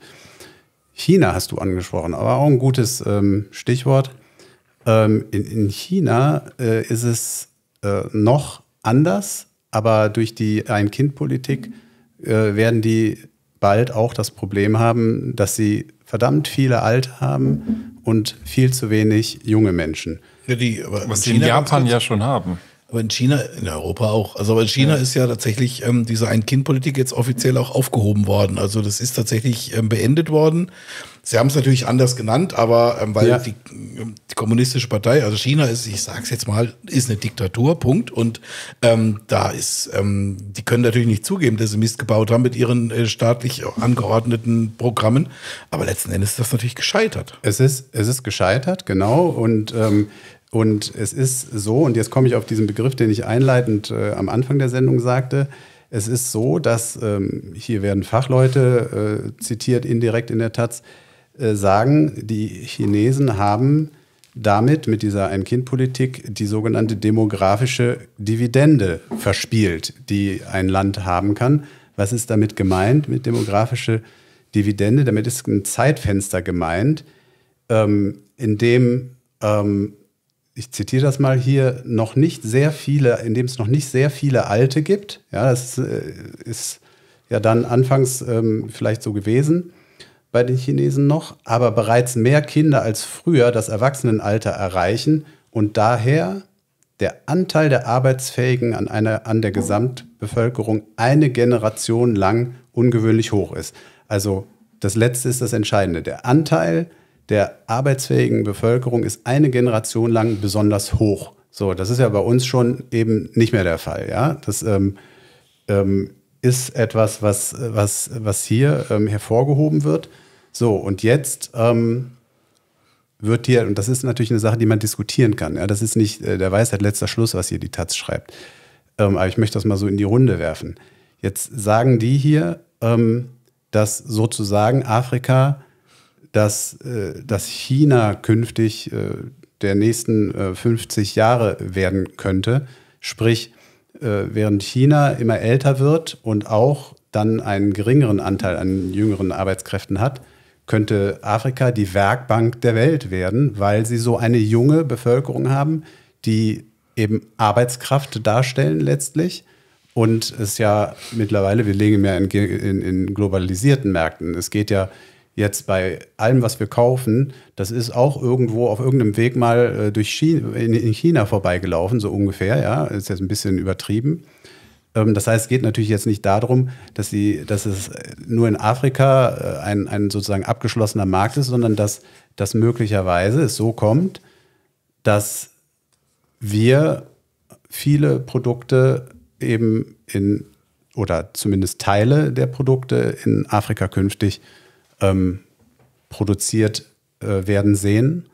Und ähm, Afrika sozusagen von dieser hohen Anzahl junger Menschen, vor der wir in Europa so Angst haben, auch in Bezug auf Flüchtlinge, ja, ähm, dass, dass Afrika davon profitieren wird. Was, was, was haltet ihr von diesem? Das ist ja so ein bisschen so eine, so eine Art Zukunftsszenario.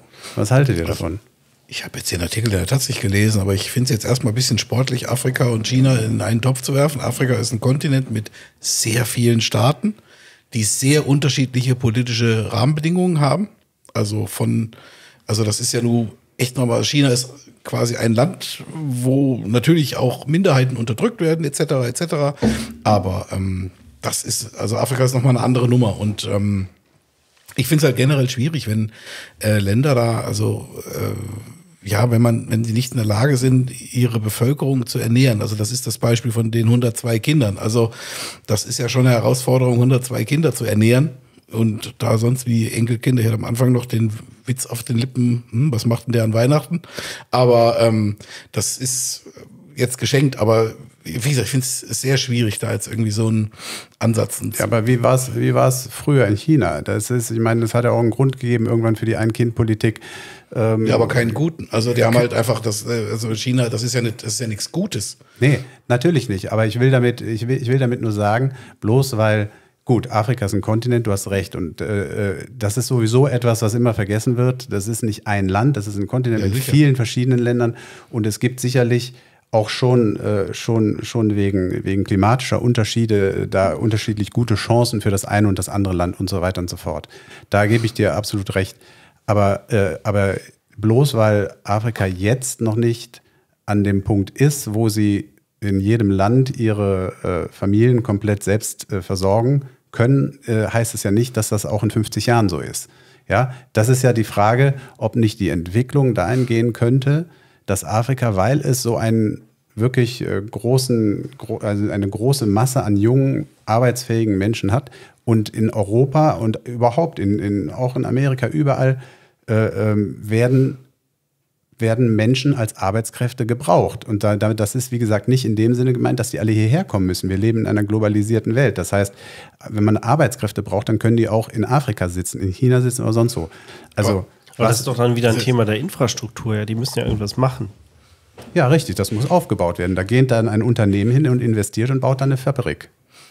Aber das ist ja schon so ein bisschen, also, wie soll ich das jetzt formulieren? Also so wie es jetzt formuliert wurde, ich, wie gesagt, ich habe den Taz-Artikel nicht gelesen, ist das für mich so eine Art Form des äh, Neokolonialismus oder nenn's wie du willst. Also im Prinzip, also die Afrikaner sind ja die Werkbank für Europa, damit es uns hier gut geht. Also das kann es ja nur auch nicht sein. Also Ja, nee, nicht damit es uns nur gut geht. Das Jo. ist ja, das ist ja, es geht ja, wie gesagt, um die demografische Dividende. Die Dividende sind, werden ja dann die in Afrika, die sie selbst einstreichen. Also es geht ja darum, dass Afrika selber dann auch Wohlstand bekäme. Ja, aber wenn sie schlecht, wenn sie schlecht oder gar nicht ausgebildet sind, wie jetzt da der, der, ähm, wenn ich da wieder bei dem, bei dem Herren, der, der, dem ursprünglichen Artikel mit seinen In Uganda. 102 Kindern, die alle keine Ausbildung haben, sondern die in Anführungsstrichen einfach nur am Feld arbeiten können. Das, damit kannst du keinen Wohlstand dir in dem Sinne erarbeiten. Also das sehe ich jetzt irgendwie da so ein bisschen kritisch. Das heißt, du musst im Prinzip eine gut äh, ausgebildete Bevölkerung haben. Wenn die jung ist, dann hast du Potenzial. Ja, Aber die Frage ist ja, wer, wer dann die Rendite tatsächlich einstreicht. Wenn das internationale also, das Konzerne mag sind, demografisch ja bleibt das Geld nicht da. Also ich habe ich hab jetzt gerade einen ganz, ganz Also- interessanten, Entschuldigung Ben, ich habe einen ganz interessanten kurzen Einspieler gesehen, ich weiß gar nicht wo, ähm, wo irgendein deutscher Vertreter irgendwo in einem afrikanischen Land in einem Hörsaal stand und gefragt hat, wer von den Studenten sich denn vorstellen könnte, nach Deutschland zu kommen, um dort zu arbeiten. Der Hörsaal war voll mit Afrikanern, also mit, ich weiß nicht, welches Land es war, aber jedenfalls ein afrikanisches Land. Äh, und da hat keiner aufgezeigt. Da hat keiner aufgezeigt. Also ich will damit nur sagen, man kann jetzt auch nicht davon ausgehen, dass in Afrika jetzt nur, wie jetzt hier in dem Beispiel von dem Menschen aus Uganda, nur Menschen äh, äh, äh, leben, die nur mit der Hacke in der Hand unterwegs sind. Äh, Wie du schon sagtest, Beef, es gibt ja ganz, ist ja sehr heterogen. Es gibt ja diese ganz unterschiedliche Länder. Abgesehen davon bezweifle ich, dass viele Produkte wirkliche Fachkräfte bedürfen. Ich glaube nicht, dass in China die Leute, die da in irgendwelchen Fabriken sitzen, Ne, es geht alle ja darum, wer die Fäden ne? zieht. Ja, das, das, und- also und wenn da jetzt einer hingeht und sagt, ich stelle jetzt hier mal, also in China, da hast du halt äh, tatsächlich diesen Zentralstaat und äh, ein Einparteiensystem, was, was sozusagen alle Fäden irgendwo versucht in der Hand zu halten. Natürlich verdienen da auch äh, ausländische Firmen kräftig mit und nutzen das, aber Und das auch- ist sozusagen nicht, nicht sozusagen an, der, an, dem, an dem Staat vorbei. Will ich mal Und auch sagen. in China gibt's viel Armut. Also die, die meisten Chinesen, die haben nichts davon, von dem Krempel, den sie produzieren. Also da ist der, da ist die kommunistische Partei und die ganzen Handlanger dieser Partei, die verdienen da. Und das ist, also das ist ja ein durch und durch, ähm, wie soll ich sagen, verachtenswertes System. Und ähm, also das finde ich, also ich, wie gesagt, ich habe also das finde ich ja schwierig. Und wo du zitierst, wenn da aus irgendeinem Hörsaal in, in irgendeinem afrikanischen Staat, wenn die nicht nach Deutschland wollen, naja, da kann ich einen guten Grund nennen. Also, weil Deutschland eigentlich auch alles dafür tut, dass es nicht attraktiv ist für ausländische äh, Arbeitnehmer, die gut und hoch ausgebildet sind. Das ist der Ja, wesentliche ja, aber Punkt. das Klischee, Klischee ist doch, dass die alle hierher wollen, weil es denen in Afrika zu schlecht geht. Aber da Nein, sind, das- ist es offensichtlich nicht, nicht überall der Fall. Das wollte ich damit sagen. Ne? Ja, das mag sein, aber ich meine, die, die hierher kommen, die, die ihr Leben riskieren, da bist, wenn du an so einem Punkt bist, wo du sagst, mir ist alles egal und wenn ich unterwegs im Mittelmeer saufe, dann ist es auch noch so, alles ist besser als das, was ich zu Hause habe. Also das kannst du, glaube ich, hier nicht vergleichen. Das sind, glaube ich, auch nicht Punkt. die, dieselben, die da Nein. in dem Hörsaal saßen. Ja. Und das ist halt dieses Gefälle. Also die Frage,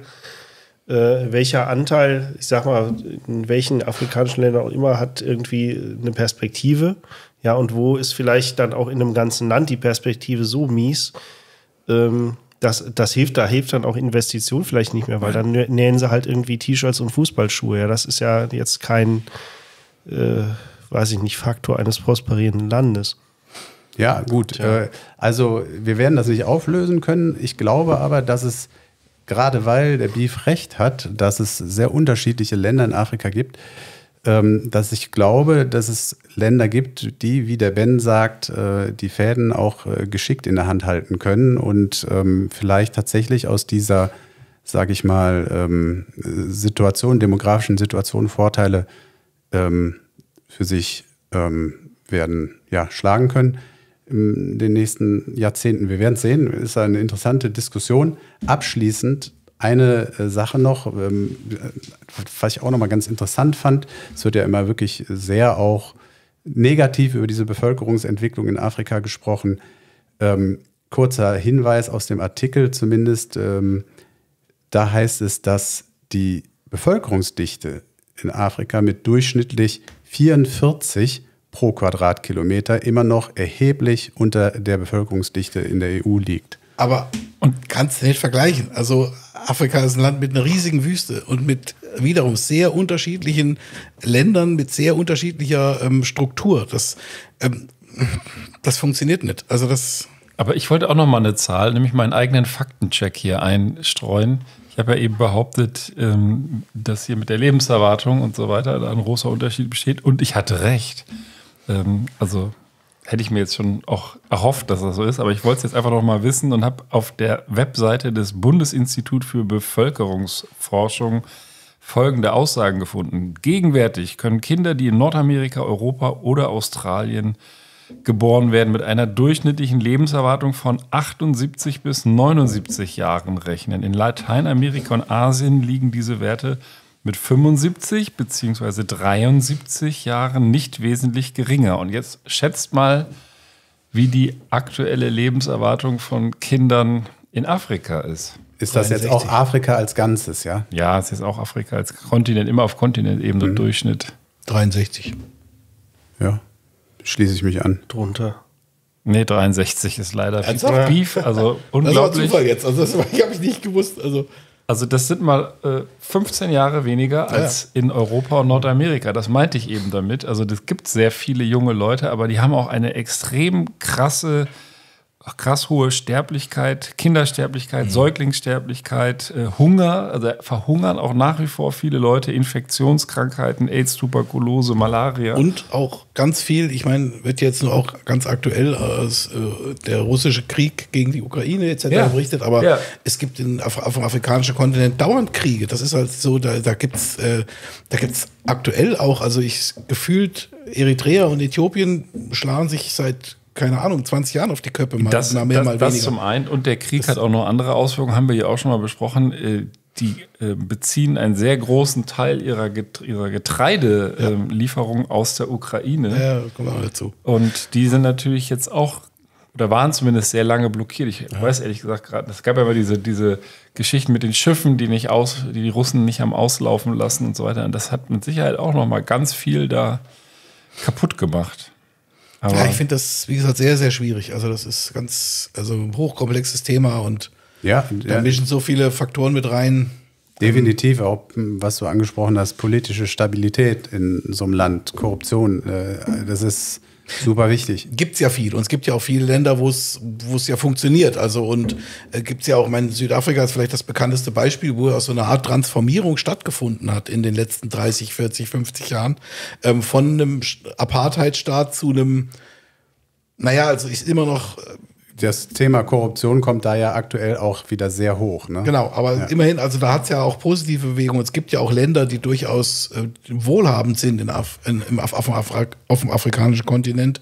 Ähm, es gab die ganzen ähm, Revolutionen auch im Norden von, von Afrika. Also es ist ja schon auch, aber wie gesagt, es sind Ja, aber Trotzdem ich muss schwierig. auch sagen, beim Thema Korruption, da schrillen bei mir auch die Alarmglocken. echt schon. Ups. Ja, schon zehn Minuten drüber, meine Lieben. Ich hoffe, es lag nicht am Big Lebowski. Da. Das war das.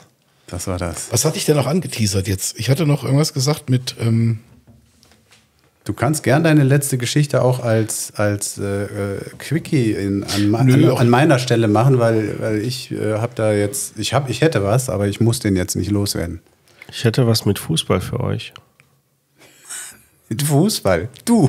Ich? Ja, dann erzähl doch mal, was hast du denn mit. Fußball hier?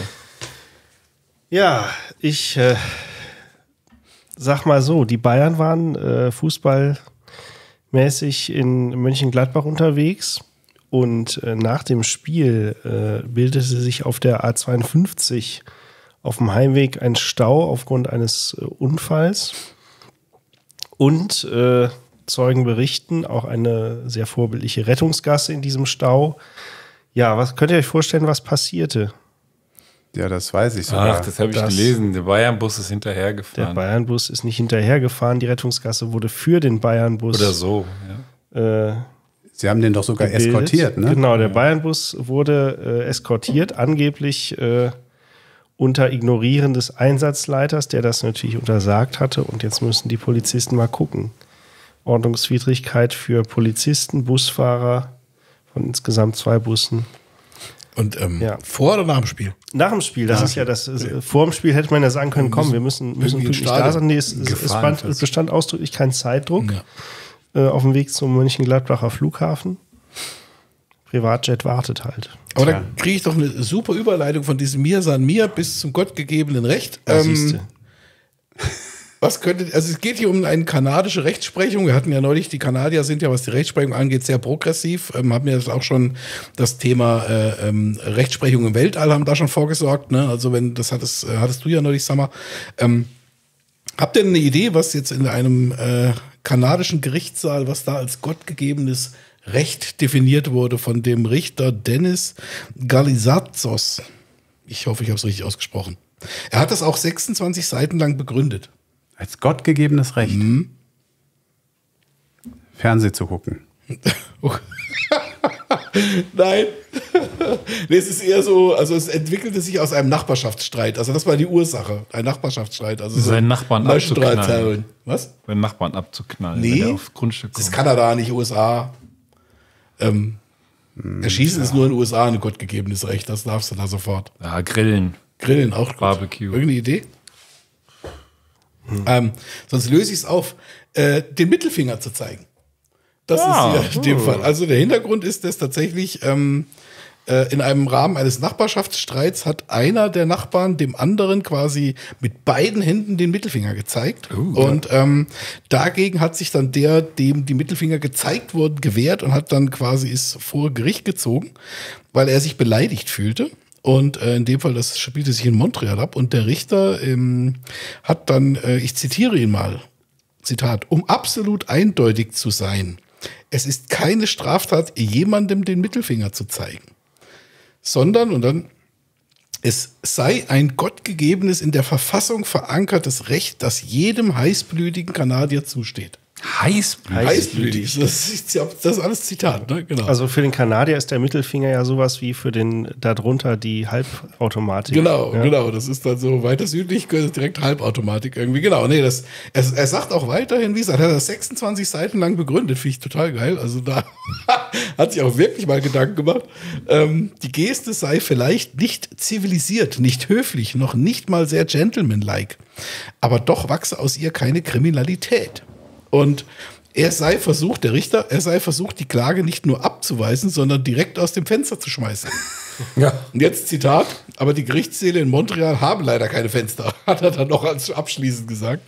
Und ähm, wie gesagt, der Fall ist tatsächlich ähm, zwischen zwei, äh, ähm, zwei Nachbarn, die sich wohl schon länger gestreit, gestritten haben und ähm, der eine fühlte sich quasi durch den doppelten Fingerzeig quasi bedroht. Ähm, laut Gerichtsakte war der, der sich bedroht fühlte durch die Mittelfinger, allerdings vorher auch schon hatte den, seinen Nachbarn verbal attackiert und hat auch ein Werkzeug in drohender Art erhoben. Also wirklich so ein richtig schöner Maschendrahtzank.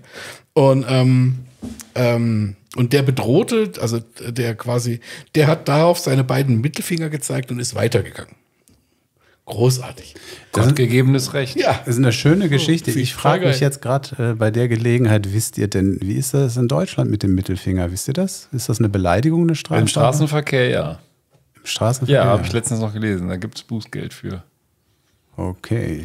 Deswegen fand ich da- das spannend, Da weil flutscht, das da flutscht er ja schon mal raus, der Mittelfinger. Ja, genau. Aber, und- aber so als Nachbar wissen das nicht. Also Wahrscheinlich ist dann auch. Ja, du musst halt ein heißblütiger äh, Kanadier sein. Kanadier Dann- sein. dann Dann, hast du- kannst du hier kannst du loslegen. ganze Siedlungen flashen mit deinen beiden Mittelfingern. Also vielleicht kannst du ja eine doppelte Staatsbürgerschaft beantragen oder sowas. Kannst Sehr schöne Geschichte. Einmal hier durch die Siedlung streifen. aber, aber dann, dann, dann wollte ich die Steilvorlage auch nochmal aufnehmen, von wegen gottgegebenes Recht. Was glaubt ihr denn, was äh, das gottgegebene Recht in der Schweiz sein könnte? Das ist auch so eine ganz geile Geschichte, die ich jetzt hier. das Äh, gottgegebene Recht in der Schweiz. Ja. in eine Schlucht zu scheißen. Ja, das äh, so nennen wir ja gerne die Österreicher eigentlich. Schluchtenscheiße, aber nein, das ist kein vielleicht, aber Skifahren. ja, wofür wofür ist denn die Käse Schweiz noch bekannt? Schweizer sowas. Symbole auf seine Toblerone zu drucken. Ja, und äh, Käse okay. zum Bahnhof zu rollen. Käse, genau. Nimm mal Käse und Schokolade. Woraus wird die hergestellt? Milch. Milch. Die Milch. Und wo kommt die Milch her? Aus, Aus aus der. Kuh? Aus der Kuh. Genau. Und man könnte jetzt sagen, in der Schweiz, spezifisch in St. Gallen, ist es ein gottgegebenes Recht, mit seiner Kuh in einem Zug zu fahren, Eisenbahn zu fahren. Das, das haben hier äh, ein paar junge Schweizer gemacht und haben, sind mit ihrer Kuh in den Regionalzug eingestiegen. Geil. Hier ist das Foto. Jungbauern bringen Kuh per Zug nach Hause. So. Total geile Geschichte. Da war irgendwo in St. Gallen eine äh, Landwirtschaftsmesse, konkret in der Nähe von St. Fieden. Das ist eine Haltestelle da wohl in der Gegend. Und dann stiegen ein paar junge Männer ein und haben ihre Kuh in die Bahn mitgenommen. Aber mal blöd gef ge gefragt, wie kriegt man denn die Kuh in die Bahn? Also in die Deutsche Bahn würden wir die Kuh nicht reinkriegen. Ja, war bestimmt hier im Fahrstuhl runtergefahren. Hast du mal gesehen, wie groß so eine Kuh ist? Und die, die ist im, im Klettern nicht besonders gut. Na gut, es gibt ja diese Niederflurbahnen. Also Ja, so das war- war, ja. wenn die so, der, wenn der Bahnsteig eben ist, also das, ähm, Ja, der okay. Einstieg eben ist, Ja, dann mag okay. das gehen. Also Ja. Hatte die Kuh ein Ticket oder zählt die als Gepäck? ich wollte gerade sagen, das ja, ist, wahrscheinlich so ein Hundeticket. Oder das gibt ja, du kannst ja, für, das für ja- Hunde kannst du so ein Ticket wenn sie ziehen. angeleint sind, kosten die, glaube ich, sogar gar nichts. Hunde sind, glaube ich, sogar inzwischen frei in der Mitnahme. Also müsst jetzt lügen, aber ähm, vielleicht hat es noch die Größe Vielleicht des gibt Hundes. es jetzt nicht demnächst das Deutschland-Hundeticket? ich bin jetzt kein, ich bin jetzt so kein, wie soll ich sagen, Tierspezialist, aber eine Kuh ist kein Hund, meine ich. Also Nee. Das ist ein Unterschied. Das ist ein ziemlich großer Hund. Ja. Das, und äh, die haben Hast die halt gut? die ja, haben die, doch. Ich Ich glaube. bin kein Fachmann, ne? Ja, aber- ja, könnte stimmen. Ja, die haben die halt schön gestreichelt und hatten aber auch, weil die ja gerne mal so Fladen raushaut, hatten die Stroh dabei. Also warum liegt hier das ganze Stroh rum? Ja, ein Besen und ein Eimer. Ja, Ganz weiß brav. Bescheid. Und waren mit der eben auf dieser äh, Landwirtschaftsmesse. Das ist ja. und da war das, äh, war das auch ausgestellt, das Rind. Und dann Und kam der Schaffner. Nee, da kam kein Schaffen. Das haben einfach nur Leute, das ist hier bei, bei Twitter oder Ach so, irgendwo das kannst hat, du. das, ach so, das ist gar nicht vor Gericht gelandet. Ja, hier, im Turbo. Kennt ihr den Schweizer Turbo? Der hat so eine ganz geile Schrift. Turbo mit TH geschrieben. Das ist so, so, so ein bisschen so 3D-mäßig. Ich weiß nicht, ob ihr das kennt. Die, der ist wirklich ein geiler Zug. Das sieht so richtig, äh, ich kann das gar nicht sagen, so psychedelisch fast aus. Und die haben den damit in den Turbo genommen. Ja. Geiles Ding, richtig ganz moderner Zug. Also bestimmt ein Niederflur. Das ist ja das, was ich, ich meine, ähm, kennt jemand Asterix bei den Schweizern, den Comic? Ja, natürlich. Das ist ja auch großartig. Da wird ja auch immer viel gewischelt und so. Also das ist ja auch immer, dass immer alles so sauber gehalten wird. Also werden ja ein paar Klischees auch verbraten, aber auf eine sehr charmante Weise. Und ähm, aber ich finde das eine geile Geschichte irgendwie, die Kuh mit den Da musst nur Ja, aufpassen, dass du nicht an Füßen mit Gewichten in Genfer Ja, das geworfen wirst. Ja, aber hier, guck mal, die haben sogar das die- Bahnunternehmen Turbo haben sie gefragt und äh, die haben sich aber recht entspannt gezeigt und sagt, man hoffe, dass wenigstens ein gültiges Billett, also ein Ticket vorhanden war, wie ein Sprecher des Unternehmens gegenüber FM1 Today mitteilte. Eine Anzeige muss der junge Tierwirt nicht befürchten. Wir werden Gnade vor Recht walten lassen und hoffen, dass der Paarhufer die Fahrt in unserem Zug genießen konnte. Und auch die Polizei schließt sich an und sagt, die Stadtpolizei St. Gallen sei zwar informiert worden, von, wahrscheinlich von dem Bahnunternehmen oder irgendjemandem, habe nach Absprache mit der SBB, der Schweizer Bundesbahn, allerdings nicht ausrücken müssen, weil die halt sagten, ist okay. Okay, lass die Kuh fahren. So. Ich finde es cool. Ja, Ich finde es auch cool. sehr witzig. Ja. Das war jetzt aber eher Wiener, der Wiener. Ja, das muss dann letztes Wochenende sein. Austauschschaffner. Ja, Gescheißen, oder? Ich kenne auch noch übrigens so ein, so ein richtig, so ein richtig Das ist- schönes. Das finde ich jetzt, äh, ey, ohne wenn ich jetzt, sorry, aber gescheißen ist so geil. Also wenn du das irgendwie ist, gescheißen. Das, Gescheißen. also das haben Das die ist, ja, Österreicher uns das, echt voraus. das, Also ist doch, das ist doch, glaube ich, äh, eine ziemliche Herabwürdigung, oder? Nein, aber die schlimmste, schlimmer als Gescheißen, das kannst du Schleich sagen. die. Schleich die. Ja, Das aber ist gescheißen ist gar nicht so Gescheißen. ultra schlimm. Das ist so schon so, aber äh, so, aber nicht so richtig. Aber das ist aber total geil. Wir, wir haben jetzt so viel rausgehauen, da können wir auch noch die Wiener Altstadt-Poeten raushauen. Das ist ein Buch, das habe ich geschenkt bekommen. Dazu gibt es eine Instagram-Seite von einem Typen, der sammelt so Geschichten aus dem Wiener Leben. Das ist so geil teilweise. Also ich, kann, ich hätte das jetzt vorbereiten müssen. Die einzige, die mir einfällt auf Anhieb ist, äh, sind so Szenen, die Leute dann irgendwo im Alltag festgestellt haben und so eine Kassiererin, die dann eine alte Dame an der Kasse stehen hat, ob das jetzt eine Quatschkasse war, weiß man nicht, aber die hatte dann Sekt und Schokolade. Und dann sagt die Dame, ja, heute äh, heute zwitscher ich mir mal einen rein und esse den ganzen Tag nur Schokolade. Ne? Und dann sagt sie, ach, sie leben meinen Traum. sagt sie dazu. Sehr schön. Also, Ein Träumchen. Ja, ein Träumchen. Das bringe ich vielleicht nächstes Mal mit und zitiere aus den Wiener Altstadt. Ja, wunderbar. Poeten. Sehr gut. Alltagspoeten, nicht Altstadt. Gut, Sehr schön. dann haben wir es, glaube ich, im Sack. Ne? Ja. Gehen wir scheißen. Geh mal scheißen. Gehen wir scheißen. Scheißen. Gut. Also, macht's gut, ihr Lieben. Ne? Bis ja, bald. Tschö. Tschö.